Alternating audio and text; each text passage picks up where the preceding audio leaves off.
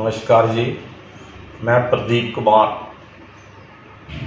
ਨਕੋਦਰ ਸ਼ਹਿਰ ਦਾ ਰਹਿਣ ਵਾਲਾ ਹਾਂ। ਮੈਨੂੰ ਕੁਝ ਸਮੇਂ ਤੋਂ ਪ੍ਰੋਬਲਮ ਆਈ।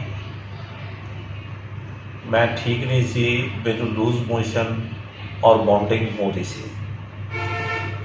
ਤੇ ਇਮੀਡੀਏਟਲੀ ਮੈਂ ਨਕੋਦਰ ਤੋਂ ਨਿਊ ਰੂਬੀ ਹਸਪੀਟਲ ਦੇ ਵਿੱਚ ਐਡਮਿਟ ਹੋਇਆ।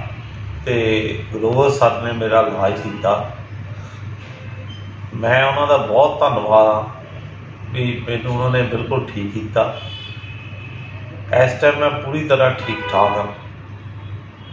ਤੇ ਬਾਕੀ ਸਟਾਫ ਜਿੰਨਾ ਵੀ ਨਰਸਿਸ ਬਾਕੀ ਸਾਰਾ ਸਟਾਫ ਇਸ ਹਸਪੀਟਲ ਦਾ ਬਹੁਤ ਹੀ ਚੰਗਾ ਹੈ। ਜਿਨ੍ਹਾਂ ਨੇ ਵੀ ਮੇਰੀ ਦੇਖਭਾਲ ਚੰਗੀ ਤਰੀਕੇ ਨਾਲ ਕੀਤੀ।